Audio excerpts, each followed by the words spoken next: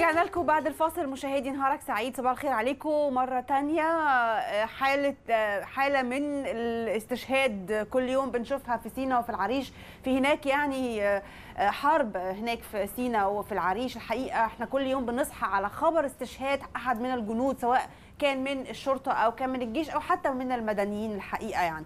آه واتضربت آه واتضرب أتوبيس وحضراتكم أكيد تابعتوا الموضوع ده وشفتوه على جميع القنوات الفضائية وكمان هنا في التلفزيون المصري. شفتوا قد إيه المدنيين بس كل ذنبهم إن هم خارجين من الشغل رايحين البيت اتضربوا بقذيفة RPG أربعة استشهدوا والباقي في حالات إصابات خطرة جدا. آه في حالة استنفار أمني أنا مش عارفة والله يعني آه آه ع- يعني مؤيدي آه، المعزول أو الرئيس السابق محمد مرسي عاوزين يوصلوا لإيه؟ بي- بيضحوا بجنودهم بيضحوا بالمدنيين بأخواتهم وأهلهم علشان إيه؟ عشان كرسي مش عارف هما يبقى يردوا علينا بقى. هيكون معانا النهارده الحقيقة في آه، يومنا عشان نسأله بقى الحقيقة عن حاجات كتير جدا تخص الحوادث تخص تخص ال ال الكر والفار اللي إحنا عايشين فيه النهارده. الصحفي الأستاذ يسري البدري رئيس قسم الحوادث بجريدة المصري اليوم. أستاذ يسري صباح الخير. صباح الخير يا أستاذ. صباح الحقيقة إحنا بقى خلاص آه، هتجيلنا حالة نفسية من كتر ما بنصحى كل يوم الصبح على خبر استشهاد أحد. بس أنا عايزة أسألك في البداية عن رأيك إيه في آه، معظم مؤيدي الرئيس المعزول محمد مرسي إن هم بياخدوا دلوقتي طريقهم وي- ويقطعوا كل الطرق المؤدية للأعمال أو أو لشلل شلل الحركة في القاهرة بالتحديد يعني. والله هو امبارح امبارح تحديدا بعد الفطار كان يوم مؤسف من أنصار المعزول. أنصار المعزول امبارح كانوا في بروفا لمحاولة خنق القاهرة.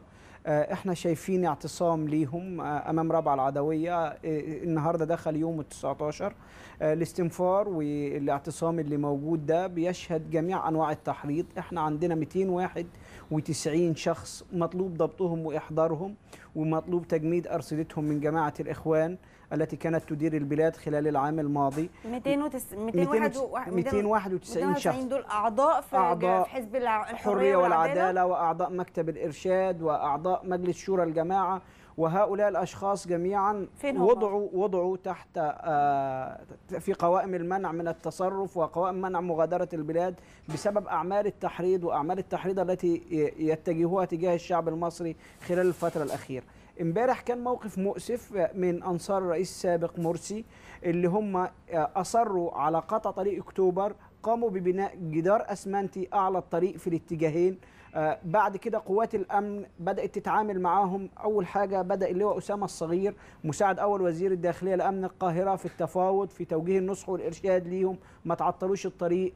استمر البناء آه، الجدار الأسمنتي على كوبري أكتوبر. وكوبري أكتوبر ده بيربط أكتر من محافظتين ببعض ده طريق حيوي. بعد كده قوات الأمن بدأت تتعامل معاهم بالغاز المسيل للدموع. فوجئنا إن هم الإصابات اللي أعلنت عنها وزارة الصحة تؤكد أن أنصار الرئيس السابق كان بحوزتهم طلقات خرطوش بدليل أن وزارة الداخلية أعلنت أن لديها ضابطين أصيب بطلقات خرطوش وثلاث مجندين. في حين أن وزارة الصحة أعلنت أن عدد المصابين 19 إصابة في القاهرة وثلاث حالات في الجيزة معظمهم حالات اختناق بسبب الغاز المسيل للدموع. هذا لم ينتهي الوضع. ليلة كر وفر في ميدان رمسيس. أهالي غمرة أهالي بولاء عملوا آه لجان شعبية. هم بيقربوا من التحرير ليه؟ أنا عايزة أعرف. هم عايزين عندهم يدخلوا ال- هم عايزين لا لا لا هو امبارح كانت بروفا لخنق القاهرة بدليل إن إحنا شفنا كوبري أكتوبر شفنا دائري المنيب البحر الأعظم شارع عباس العقاد هم عايزين يخنقوا القاهرة مجرد إصابة القاهرة بشلل مروري للحشد ويقولوا إن إحنا عندنا ملايين مم. إحنا إمبارح سمعنا إن هم تعتقد إن عددهم يسمح لا إن لا لا هم يقدروا يعملوا شلل لا مروري لا لا في لا. أنحاء لا أعتقد لا أعتقد إنه ان هو المكان اللي هم موجودين فيه ده عبارة عن إشارة مش ميدان رابعة العدوية تحديدا.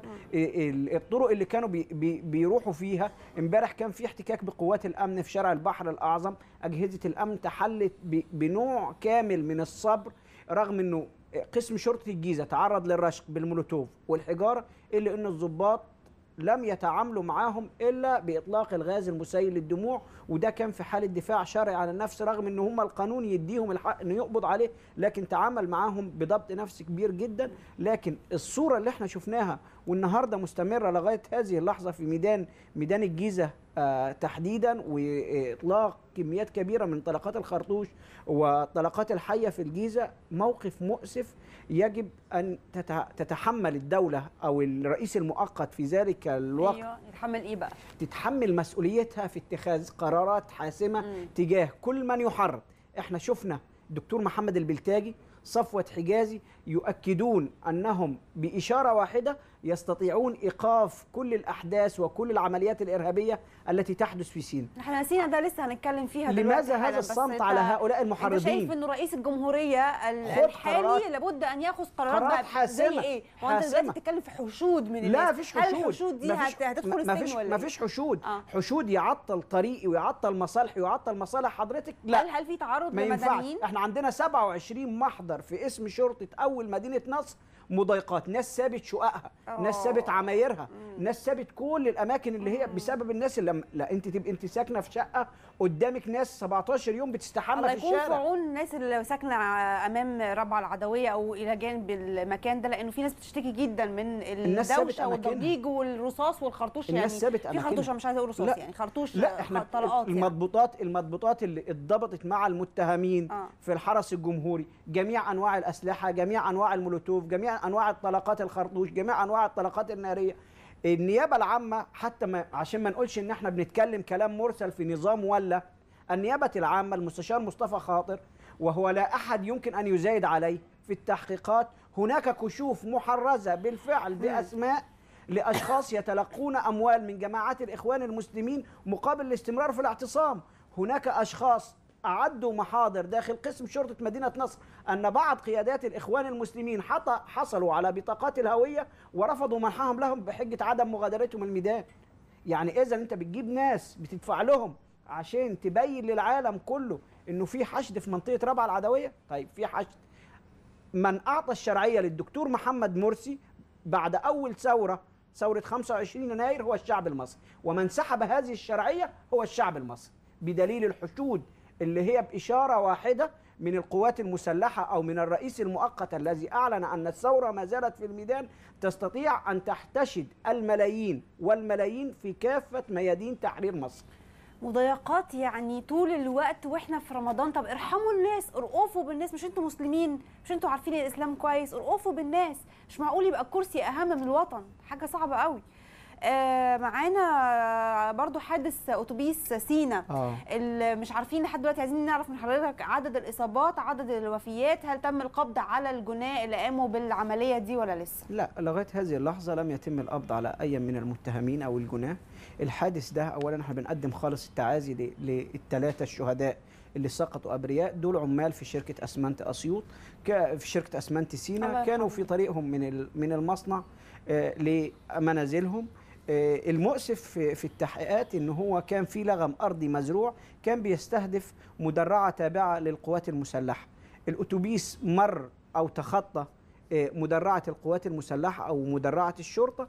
فانفجر اللغم الأرضي آه. هم حبوا يطلقوا آه، قذيفة RPG عشان تصيب المدرعة فأصابت نفس الأتوبيس عندنا في هذا الحادث ثلاثة حالة استشهاد و16 مصاب منهم أربعة في حالات خطر ده مش أول استهداف للقوات المسلحة أو الشرطة في سينا إحنا من يوم 30 عندنا 35 هجوم على أكمنة سواء نقط ارتكاز تابعة للقوات المسلحة مطار العريش الدولي آه، منفذ الأحراش العوجة آه، الجورة آه، كل الأماكن دي بير لحفن كل نقط الارتكاز دي تعرضت ل 35 هجوم مسلح. بقذائف ثقيلة عدد الشهداء من يوم خمسة لغاية النهارده 15 أو 16 إحنا عندنا 15 شهيد منهم جميع أطياف المجتمع منهم ضباط في القوات المسلحة ضباط في وزارة الداخلية مجندين في قوات اتنين أقباط منهم كاهن كنيسة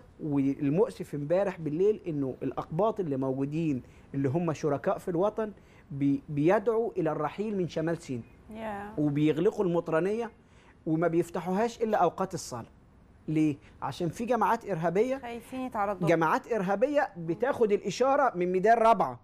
لما يطلع البلتاجي ويقول إن أنا قادر إن أنا أوقف كل المهازل اللي بتحصل في سينا بشرط إنه يرجع المخلوع أو المعزول إلى منصبه لا اذا اللي بيتحاكم في هذه الحالة يتحاكم البلتاجي والعريان وبديع ومن حشدوا في الميادين بدليل إن إحنا قبل يوم 30 ما كانش عندنا أي محاولات تفجير لخط الغاز في عهد الدكتور محمد وزرار مرسي. البلتاجي مع مين؟ يعني لما البلتاجي هي- هيخش السجن بقى مثلا مثلا يعني لو قبض عليه تم القبض عليه بما إنه بيحرض على العنف وإن هو عارف لا ان ده في مش عمليات بيحرض. إرهابية لا ده مش بيحرض. ده ده مش بيحرض. زراره مع مين؟ ده مش بيحرض. القانون في هذه الحالة لما هو واحد يقول لي أنا قادر على إيقاف الأعمال الإرهابية اللي بتحصل في سينا إذا هو يعلم من الأشخاص الذين يقومون بالعمليات الإرهابية. مرتب ال- العملية. آه إذا هو على علاقة بحماس إذا هو على علاقة بحماس تمام. إحنا خلال 368 يوم قبل ما يجينا الدكتور محمد مرسي كان عندنا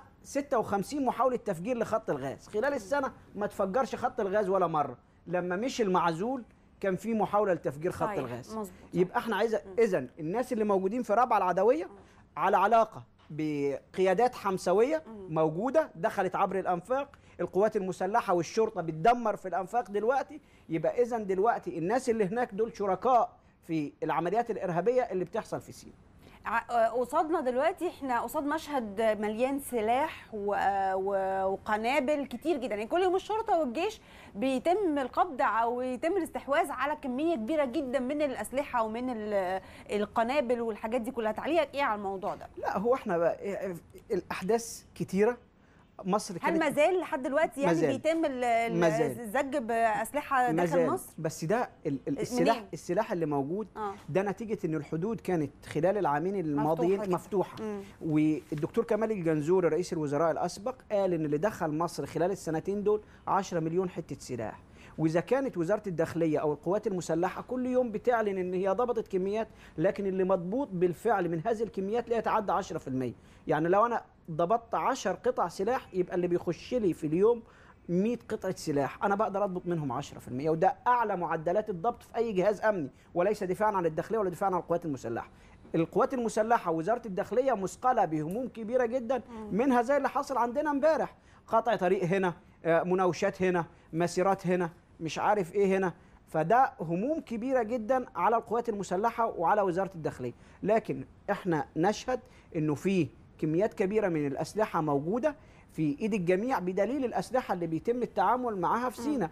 إحنا التسليح بتاع القوات مهما كان عالي هيكون الآلي لكن إحنا بنشوف الناس امبارح أبرياء بتتضرب بالأر بي جي بتتضرب بالهول بتتضرب بمض- بمضادات الطيارات ميم طه والحاجات دي. وكلها دي أسلحة ثقيلة وإحنا عندنا كارثة كمان إن إحنا داخلين على حاجة اسمها جبل الحلال في سينا. إيه؟ جبل الحلال ده المنطقة اللي هي كل الجماعات الجهادية التكفيرية بتتخذ جبل الحلال ده مأوى والعمليات اللي موجودة في سينا لتطهير جبل الحلال. صعب اختراقه ده طبعا. بالفعل بالفعل صعب اختراقه خاصة إن هو الجبل ده مقام على آه، مشيد أو ع- مبني على 600 كيلو متر من الشرق للغرب آه، يقع على الحدود الإسرائيلية. فيه 12 ألف آه، مواطن موجودين فيه بيعيشوا في الكهوف وبيعيشوا على آه، رعي الماعز والأغنام. آه، أنت لما 2005 اللي هو حبيب العدل عقب تفجيرات طابة وشرم الشيخ حاول يخترق هذا الحصار وحاصر الجماعات الإرهابية اللي موجودة فيه لمدة ثلاث شهور ونجحوا إن هم يستسلموا ما قدرش يكمل في آه، تطهير جبل الحلال ليه؟ إنه الإرهابيين قاموا بتلغيم الطرق آه، خلف القوات فلما القوات هي وراجعة حصل تفجير وفي سبعة من رجال القوات المسلحة ورجال الشرطة لقوا مصرعهم في هذا الحادث وكانت الخسائر تدمير بعض المعدات الخاصة بالقوات المسلحة ووزارة الداخلية فكان القرار بعودة القوات لعدم استكمال. إحنا داخلين مع القوات المسلحة معركة شرسة في جبل الحلال لتطهير جبل الحلال خاصة أن هناك وفقا للتقديرات الأمنية من ثلاثة ل 5000 تكفيري موجودين من جميع أطياف الجماعات إذا كانت جيش الإسلام الفلسطيني كتائب جلجلة كتائب عز الدين القسام الحمسويين اللي دخلوا من 1200 نفق موجودين وكانوا يحظون برعاية من الرئيس المعزول الدكتور محمد مرسي حتى هذه اللحظة.